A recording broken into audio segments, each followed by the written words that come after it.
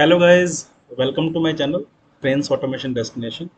So in this series we are going to learn about bdd what is bdd and what is the need of bdd so in order to deep dive into it or in order to learn bdd first we need to understand what are the prerequisite to learn bdd so first and foremost requirement to learn bdd is we should have some programming knowledge.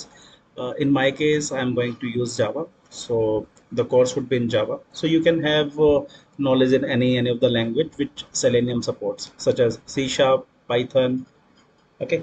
And uh, then we should you should have some knowledge on the automation especially selenium okay? So uh, now what we are going to discuss uh, during this uh, course so this is what is in the course at high level.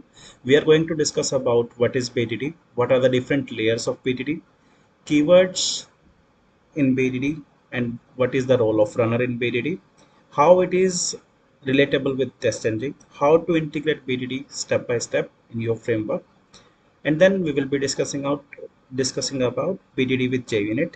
Later on, we will be discussing on the challenges that we had in JUnit with BDD, and then the reason of switching to BDD with TestNG, and we'll be discussing on BDD with TestNG integration and uh, at last we are going to discuss about sequential and parallel execution as per this list.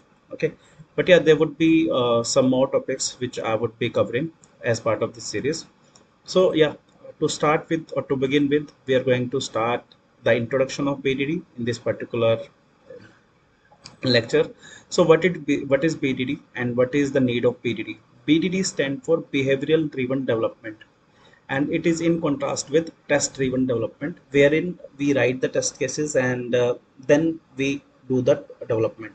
In bdd we automate the behavior okay? Based on the behavior we do the development. So let me uh, jump to the official document of bdd what is bdd so this is the official document of bdd i'll be sharing this particular link uh, in the description. So if you look at uh, what is bdd this is behavioral driven development and it is a development process which cucumber came up with okay? So what is it and how it is different with normal or the previous traditional TestNG right? So uh, it is in line with bdd right? So let me take an example of waterfall model. From there i'll be i would be able to relate it. So in waterfall model what used to happen we used to develop the software at once right?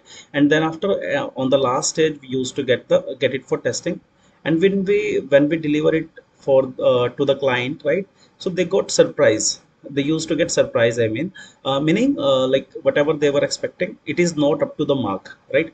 And whatever they were looking for something else. They were for example looking for a product but it is something b product. So this is where it was the gap and agile came into the picture with the iterative approach. Similarly in bdd what or like prior to BDD, what used to happen, we used to, like teams used to write the test cases in test TestNG, right? Which is at the rate test annotation, right?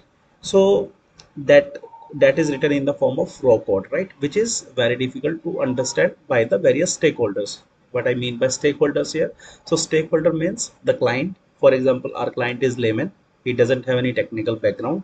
Then bas they too don't have much understanding on the background right? So they they are not comfortable understanding what is written in the code. Meaning they won't be able to understand whether we are following the right steps to automate or to to test a particular functionality right? So to bridge up that gap or to make it more clear so that even the bas or any stakeholder with the less programming knowledge or no programming knowledge should be able to understand the test cases written right this is where Cucumber felt the need of introducing BDD, right? Behavioral driven development. So let me give you an example. So BDD is nothing but like what it come come up with.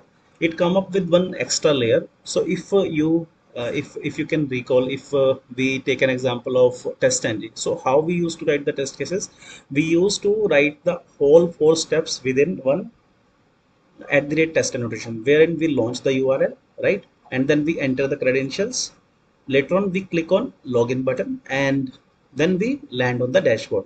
So this is uh, being covered within one at the test annotation and everything was written in the form of code which is very difficult to understand. But in bdd what they have done they have introduced uh, two extra layer. One is this feature file. The they are writing the test cases now in the plain english. Okay if you look at it given user has launched the url and user has entered valid credentials on the login page when user click on the login button then user should be able to uh, user should be landed on the dashboard page. So anyone with understanding on english should be able to understand that this is these are some steps which is getting followed to test a particular functionality. And it is very understandable right? So anyone with the uh, no knowledge on uh, like no knowledge on uh, i mean coding even they can understand the test cases. And this is how it bridge up the gap between various stakeholders. And this is how it is relatable with waterfall model right? So for example we when we used to test in test TestNG right uh, uh, the various stakeholders are not aware like but we are testing. But after looking at this set of uh, test steps they can understand it. So after writing these feature files or these steps would we used to get it verified from the uh, various stakeholders. For example from product owner right? Those who are aware of what is the functionality right? From business analyst. So that we are all on the same page that this is what is expected out of this functionality. So by going this going through these steps they can suggest us some changes that this is not what they are looking for or this is up to the mark. So this is how it bridges up the gap between various stakeholders and we are able to write the right set of test cases. Okay. So in the next uh, lecture we are going to discuss about what are the different keywords scenarios and like a lot more things we are going to discuss in the upcoming series. So for now thank you. Please uh, do like share and subscribe if you really find it useful. Thank you